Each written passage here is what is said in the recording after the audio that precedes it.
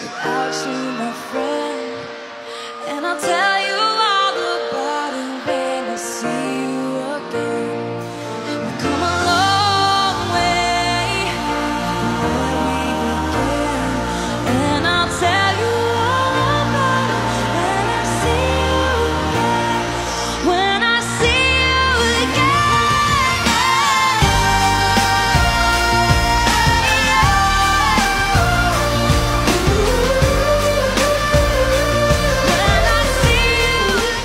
End of our performance, there was a hug that lasted for like four years.